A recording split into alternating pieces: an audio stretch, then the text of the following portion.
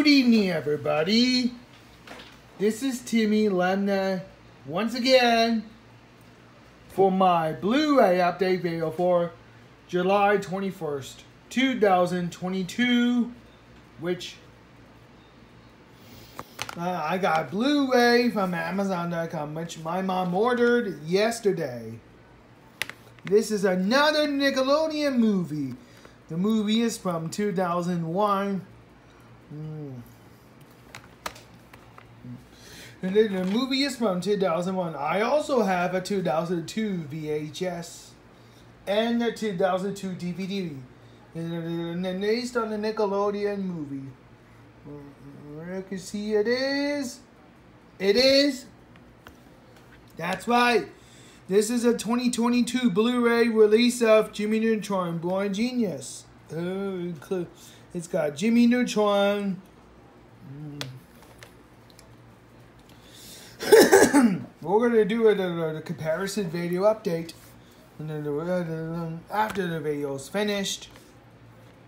I also have a 2002 VHS, plus and a 2002 DVD. And this movie, uh, we're gonna do a comparison video of uh, my three different versions of Jimmy Neutron. Boy Genius. Once again, after the veil's finished. So yeah, here's a... Sorry for the cops. Here's a front. Here's the spine. And the back it says, Jimmy Neutron Boy Genius is clever, finally Submitted by Patrick Z. McGavin, Chicago Tribune.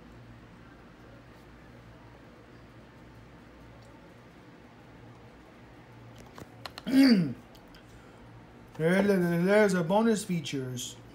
Very similar to the DVD version. Sure, so under the heart. Alright. Rated rated yeah. Yeah. Rated G and running time is 82 minutes. Fortunately, there's no Blu-ray guide. Is an eco case that Cartoon Man 13 calls it. And here's a disc. With the movie, it's not comes with DVD, and it's comes with a Blu-ray. And